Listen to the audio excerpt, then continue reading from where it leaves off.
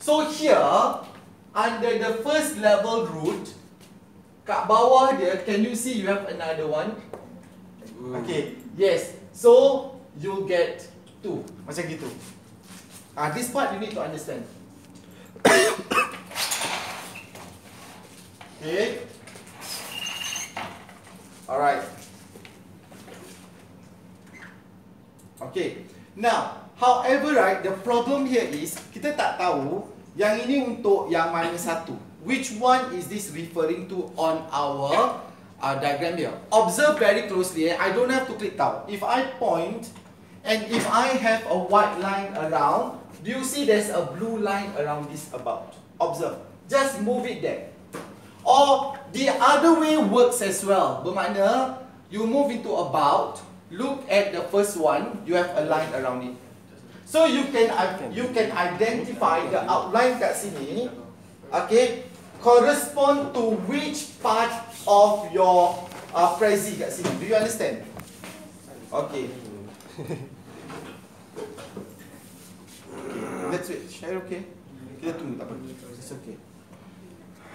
The point at any part eh, they will tell you what it is. Okay. Now this is what I would like you to do. Okay. Logo ni, can you see at your logo here? I want you to go to National Gallery, go to um, open up another window, okay, and then you go to the National Gallery punya website. Okay, type National Gallery Singapore. Okay. Now go to go to images. Okay. There is a National Gallery punya logo. Ah here. This is the National Gallery Singapore punya logo. Very simple. Okay. Can you see National Gallery Singapore punya logo? Okay. I want you to use. I want you to extract this eh. But the planning eh, the planning. You so you will see eh today. Okay. All these pictures eh. This one I want the building, but it's up to you eh. But what I'm going to do is I will change this picture because it's in center right. The building of the National Gallery of Singapore. Okay, and the other pictures would be any part of the National Gallery of Singapore. I leave it up to you. So, makna you need one for the logo. Okay, one, two, three, four, five, six. If you want it, if you do not want, you can jolly well delete it off. Yeah, I mean, just do not repeat after me like a parrot. Okay, alright. Kalau tak nak, okay, bolehlah. Okay, dengan rela hati dan redha, buangkan dia. Okay, by how you remove, click and then press delete. Okay, tetapi saya nak ingatkan eh, tetapi the image is tagged on top of a sheet. Eh, so when you click the image, you will realize, eh, kenapa benda ni ada masa dekat sini? You just click again and then press delete again. There you go. Alright. Okay, so I want you to plan out the design according to how you want it. And if you notice kan, ada ada um, apa ni uh, bentuk yang tak ada isi apa. It's just it's just a design. It give you the the look and feel of uh, your presentation. Itu saja. Okay? Feel. Macam nak kena snack tau. Orang ni mentang-mentang dah halfway through dia punya Salim Zok Salim PPT Okay. Alright. So now is yeah, you know how to you know how to uh, save the punya image tahu kan? Okay. Apa pasal?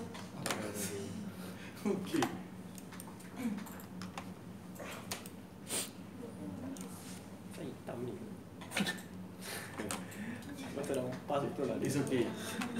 Soalan awak ialah kenapa hitam? Dia mengikut penggunanya. Sorry. Gunanya Oh, okay, wait. Okay, image that you want to remove. Okay, press the delete key. Now, in order to insert an image is here. Insert. These are all the things you can insert. The only thing that you you need to pay is the charts. If you click at charts, okay, they will tell you it's about fifteen dollars per month if I'm not sure. If I'm not wrong, there, fifteen dollars per month.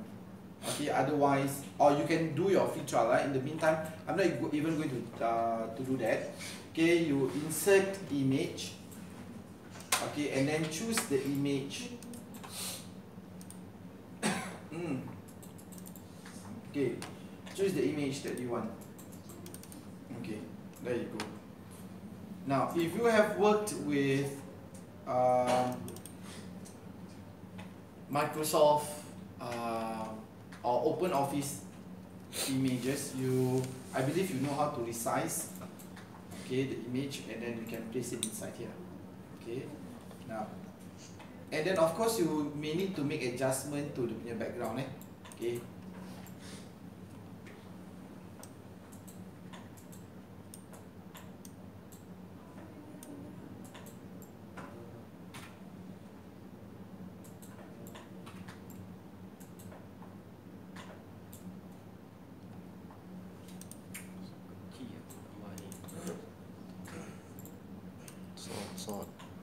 Bagi dah sort.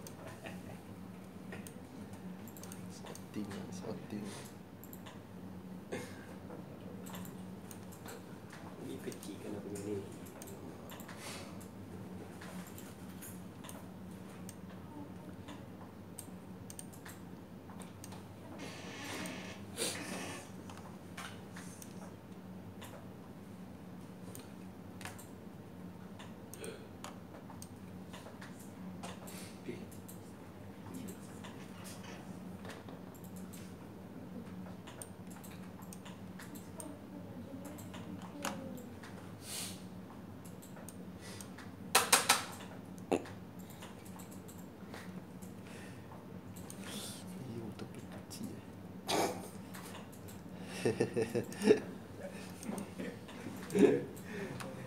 Ya apa ni?